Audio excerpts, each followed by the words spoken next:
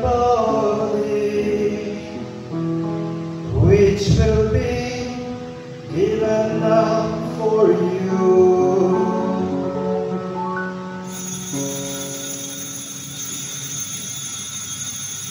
In a similar way, when supper was ended, he took the chalice and once more giving thanks, he gave it to his disciples, saying, Take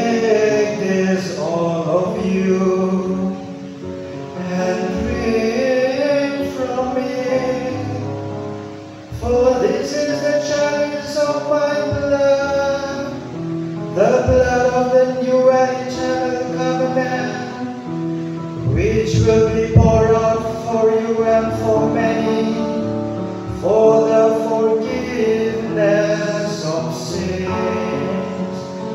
Do this in memory